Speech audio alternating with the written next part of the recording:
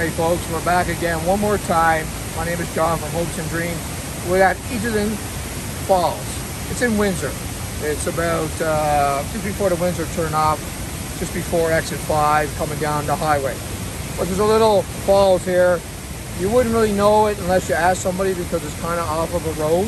So, but it's a nice little falls. We took a lot of pictures here. Mabel's going to show you that.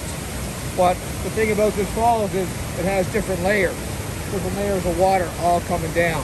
So it's good to be able to come here. It's not far from the road, but come in the daytime because it will lock the gate on you. So you gotta be super careful here. But if you got a few minutes of your time with your family, come down here, check it out. We're not gonna stay very long because we don't want the gate closing on us either, but we just wanna let you know there's something here in Windsor and it's a nice, really nice falls here.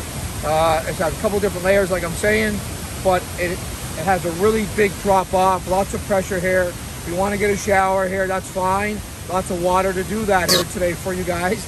But we want you to also subscribe to our channel on Hopes and Dreams by John and Mabel. So please stay tuned for next week's episode. And Mabel will take some more snapshots for you. So bye for now. Try to hold back this moment we share.